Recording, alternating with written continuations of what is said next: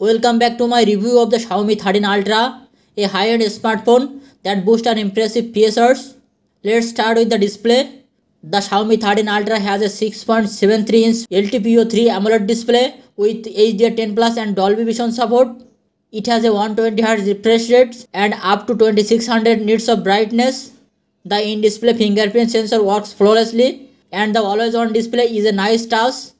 Under the hood, the Xiaomi 13 Ultra is powered by the Qualcomm Snapdragon 8 Generation 2 processor with 12GB or 16GB of RAM and 256GB, 512GB and 1TB of storage. It features a quad camera setup including a Leica 50 megapixel wide angle lens, a 50 megapixel ultra wide lens, a 50 megapixel telephoto lens and a 50 megapixel periscope lens.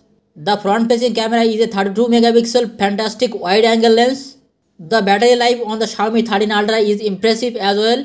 The 5000 mAh battery can last all day and the 90 watt wired fast charging is lightning fast, charging the phone from 0 to 100% in just 30 minutes.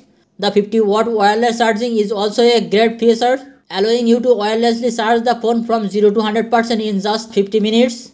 The 10 watt reverse wireless charging is also useful.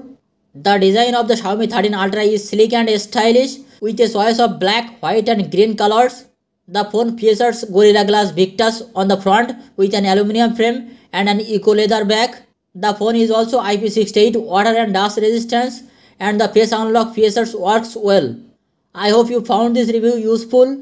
If you think this video is useful, then please subscribe our Tech Garden channel and hit the like button. Thank you so much. See you in the next video.